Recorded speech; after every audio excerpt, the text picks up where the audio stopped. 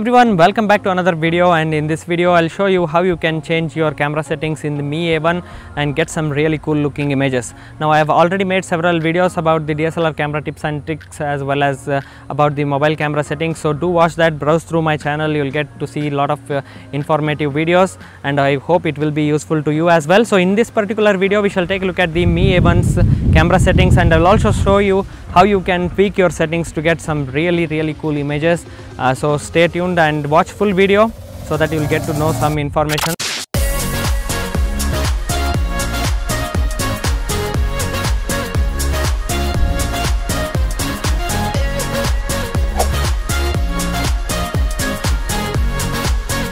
So guys, this is the camera user interface of the Mi A1. Just as you tap on the camera icon, this is the user interface you will get to see.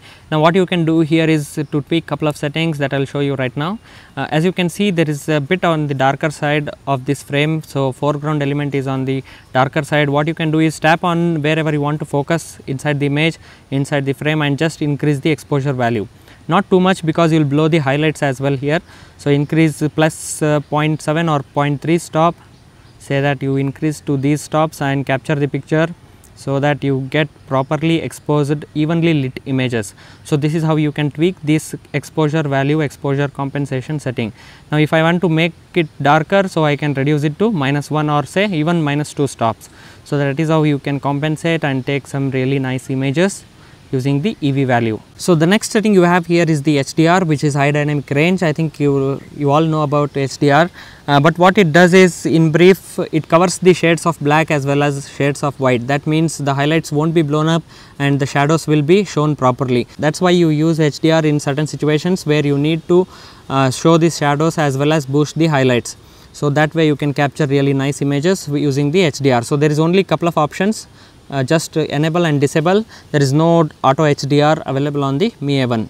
So, this is what you can do with the Mi A1's default user interface. Now, we shall move to other customized options where you find it here just tap on this option and you have plenty of options to enjoy with. So, this is the audio mode what happens is whatever you speak whatever you talk and it starts to capture the image. So, it triggers the voice and it recognizes your voice and uh, whatever you yell at it. So, it will just click the image for you and what you can do is to use the square mode whenever you want to share your pictures on Instagram so that you do not lose any of the frame here and directly you can share your pictures as well. So, I need not crop again and need not edit at all. So, directly you capture the images in square and everything will be covered without any cropping and yet you can share it quickly on Instagram. That is how you use the square mode. The next one is the timer. I need not explain again, you know how timer works 3 seconds 10 seconds 5 seconds timer is what you have.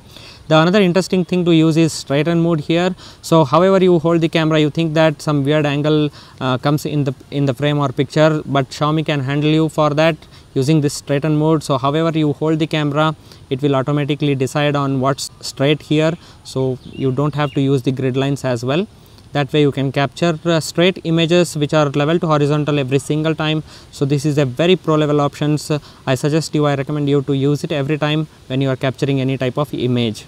So, the next option to change is the tilt shift. So, this tilt shift can be used uh, in particular situations say you are capturing some street lights, street photography if you are doing and you want that uh, entire frame, but still you want to keep the traffic moving flow in sharp so, what you can do is to use this parallel and uh, use that even in this kind of situation as well. If you want to just cover the uh, pathway to be sharp and the rest of the thing in the frame to be blurred you can use the parallel. You can use the circle while capturing flowers or close up shots of any subject. Even you can use this as a portrait effect as well. The pictures come really great because the center will be very much focused. If you want to move the center of focus to other side you can just tap on wherever you want and you can use that particular uh, frame to be sharp and the rest of the thing will be totally blurred. So, this is how you can pick the setting of this tilt shift and take some really good and cool images. So, it all depends on your creativity what you are taking what the subject is, but I am just explaining you what these modes does. So, the next mode here is the manual. This is where everything gets interesting, everything gets unlocked so that you can capture your images the way you want. Now, one interesting thing the Mi A1 has is which is very famous for is the dual camera setup here. As you can see, you have the wide angle lens as well as telephoto lens. So, that way whenever you capture image you can capture it with two perspectives. So, that is one awesome thing about the Mi A1's camera. Tap on this lens so you here you have wide and tele. You can switch back every single time from wide to tele and you can get some really close up shots sitting at same place but still you can zoom in because the lens is telephoto lens. So everything will be uh, very up close. So you have two perspectives here. Just look at this image how wide angle it gets and how telephoto it gets. So you can see it for yourself the difference between two images. So this comes really handy. Even if you are capturing flowers uh, you can capture it with telephoto lens. That way extra blur is what you get across the frame and only the subject will be in proper focus. So that's why you use the telephoto lens. It's just like a dslr camera's telephoto lens. When you use that and you change the aperture value you get really blurred backgrounds really compressed backgrounds uh, soft background and yet the subject remains really sharp and intact so the next setting here you have the, is the control of ISO. So ISO range starts from 100 to 3200 which is awesome for this price. What you can do is with the ISO is I suggest you to leave it to auto because whenever you change the ISO to higher number the images gets noisier but only you can use this ISO while you are changing the exposure. I will uh, just explain you in a minute. So, this is how you can use the ISO setting. The next one is the interesting thing the exposure time which is the shutter speed value. So, what you can do is let us look at the range it starts from 1 by 1000 second and goes all the way up, up to 1 by 15 second I think which is bummer because I expected it up to I think 4 second to 10 seconds would have been really great for some smooth silky effects. So, what you can do is to compensate this exposure time along with the ISO. So, what you can do is to keep the ISO to as much as low and if you want to get that smooth silky looking shots of say waterfalls or something like that you can use the 1 by 15 second which is the which is the minimum shutter speed value and uh, you can compensate with that ISO and then take the picture so that you get really smooth and silky looking images of any waterfall or some subject whatever uh, you are trying to capture. But the other way around what you can do is to set the ISO to around 400 or 800 and you can compensate with that exposure time so that you get very you can freeze the moment actually if there is a subject running over here there is a person doing some action over here and you want to freeze that particular moment you can keep to 1 by 500 second or even 1 by 1000 second and compensate with that ISO 800 and then take the picture and the image will be sharp across the board. So, that is how you use the how you compensate the exposure time along with the ISO. The next one uh, here is the focus. Now the manual focus starts from here from uh, closest distance and all the way goes up to infinity. Now they have given some numbers here to identify where you are. So the 100 being the infinity, the subject will be very sharp at the back of this frame. And if you want to get across the board sharper images, uh, I suggest you leave it to around 75 to 80 so that way the subject will be in proper focus. So that is how you can use. And even if you are taking flowers photography i suggest you to use manual uh, focus. That way it won't try to hunt a lot and you will get really cool looking close up shots of any flowers or any subject. So this is how you use the manual focus. The next one here is the white balance now say that in particular situation in certain situations what you can see is the colors aren't accurate inside your camera what you can do is to change the custom white balance. So there are a couple of modes here incandescent daylight. So if you think daylight uh, uh, just works perfectly you just capture the picture with the daylight auto white balance. So the next one will be fluorescent, cloudy it all depends on the scenery and situation you are in.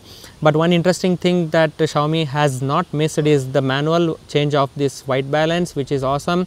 So just tap on that three stripes and here you have uh, all the manual white balance control. So accurately you can get the colors of any subject or any portrait you are trying to capture so, just see how the lower the number the cooler it gets and higher the number warmer the picture it gets. So, this is how you compensate and keep the perfect number and then capture the image that way you get very very accurate colors from your mobile.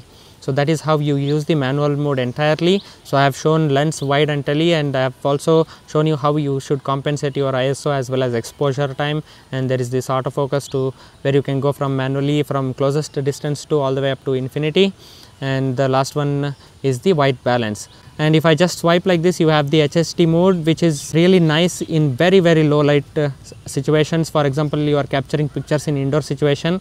The lighting will be really low. What you can do is to tap on this HHD and make sure you are holding the camera really really steady. That way you don't get any blurred images. And then capture the image. It will actually capture multiple images of different exposures and gives you really perfect looking images uh, whenever you capture it uh, during night so that's how you use the HHD mode. Just tap on it to turn off.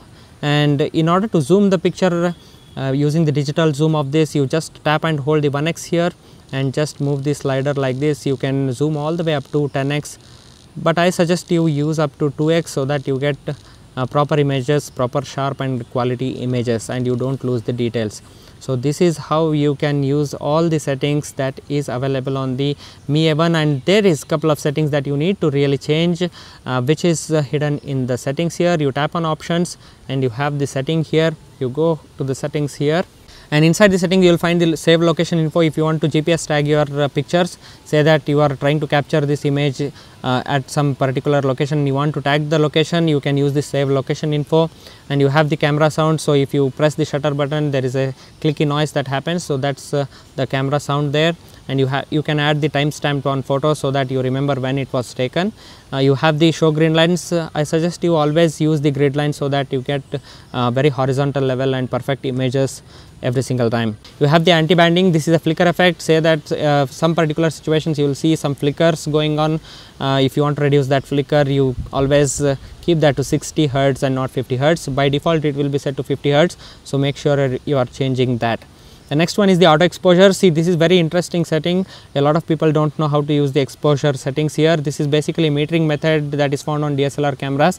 What you can do is uh, say that you are capturing landscape images and everything uh, should be in proper focus that time I suggest you to use the frame average that way it covers entire frame and it tries to focus properly and gives you sharper images say that you have some person or you are capturing some street photography so that time you can uh, get very sharper images uh, at the center of the uh, frame the name itself suggests center weight so, the next one is the spot metering. See if you are capturing portrait images of a person or say flowers that time you can use the spot metering and really get some sharper images of that particular subject and while blurring the entire uh, frame across the board. So, this spot metering works really nice when you are taking close up shots of anything any subject that way it enhances your image as well according to the metering it sets the exposure value by itself.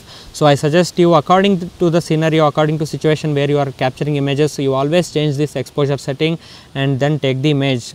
The another thing important to see here uh, which Mi A1 and other Xiaomi phones have also got this feature is to change the contrast saturation and sharpness manually.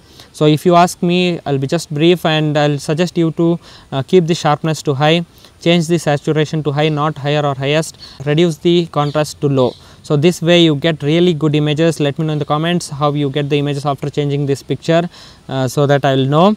So, yeah these are the settings that is available on the Mi A1 I hope this video helped you with some information if yes please hit that like button and also do not forget to subscribe to my channel for more awesome content. So, see you all in another one till then take care everyone bye bye.